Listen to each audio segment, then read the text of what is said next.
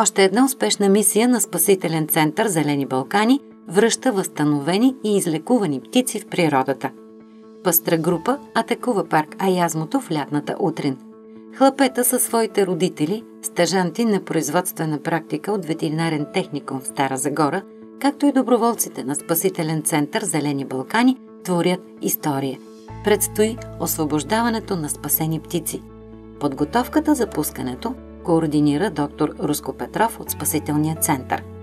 Децата едва ли са били някога в по-близък контакт с диви птици. Но става ясно, че така се печелят нови природолюбители за каузата за защита и опазване на природата. Паметен момент. И птиците политат от детските ръце на свобода.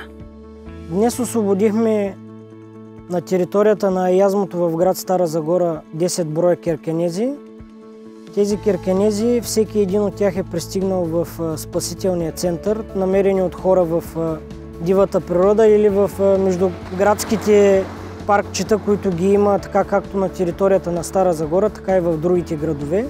И днес тук заедно с по-малките дечица, така както и моите стъжанти и колежката от реанимация, освободихме керкенезите, като два от тях пристигнаха с фрактури на единия на радиосилу, на другия на раменна става. Бяха вкарани в операционна зала, излекувани, както видяхте, птиците отлетяха много добре.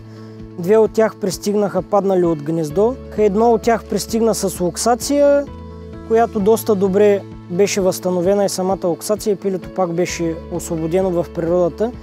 И другите останали пилета са от инвалиди родители, които имаме при нас в спасителния център. От всички пилета, които приемаме в спасителния център, се опитваме на 100% да бъдат освободени в дивата природа.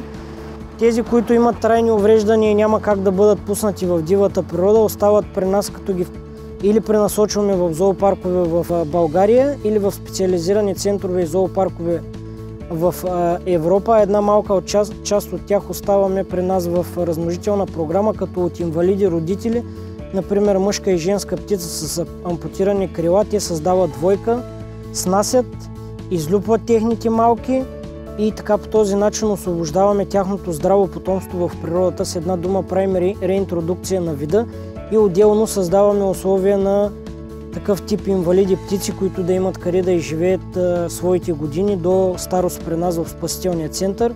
И някои от тия пилета също бяха тук от инвалиди родители, излюпени в спасителния център, които освободихме и тук в момента. Освобождаването на керкенезите вероятно ще остане силен емоционален спомен най-вече за децата. А керкенезите не са чак толкова далече от нас. Тези дребни гръбливи птици са наши съседи в градовете и селата и ни спасяват от мишевидните гризачи, с които предимно се хранят. Така че да пожелаем късмет на новоосвободените птици и още нови приятели на Спасителния център.